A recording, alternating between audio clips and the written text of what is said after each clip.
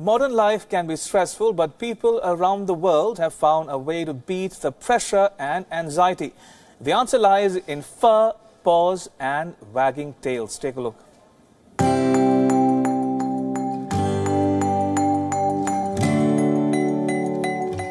Say hi to the therapy pets.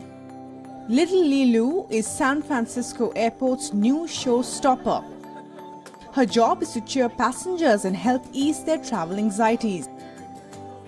And look, she's all dressed up for her first day at work. Pilot's cap, manicured nails, and a wagging tail. The five year old piggy is joining the airport's WAG brigade.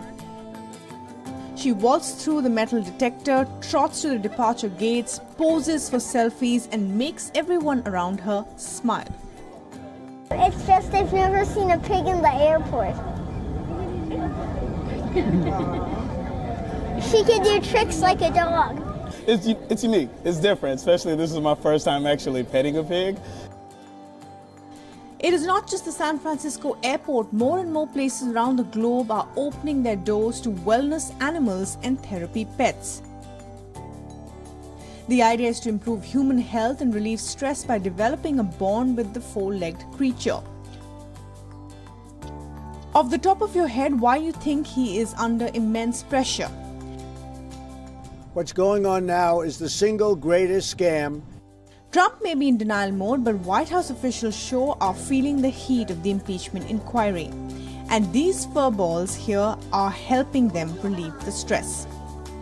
Wagging and snuffling around the Capitol Hill, these dogs have stolen the hearts. Oh my God, I don't do dogs, but this dog was beautiful. The coat on him was just as soft. I fell in love with him. On the other side of the globe, Japan, home to the world's most stressed workers, too is leaning on therapy pets. It is now a common sight to spot dogs and cats at office spaces. In fact, more and more Japanese companies are allowing their workers to bring their pets to work. They are being called four legged assistants. But aren't these cute faces distracting? It does not affect my work at all, and my dog would not feel lonely at home anymore as well. I hope this work mode will continue. We hope for the same. For life will be easier if we face everyday challenges hand in paw with our four legged friends. Bureau Report Beyond this one.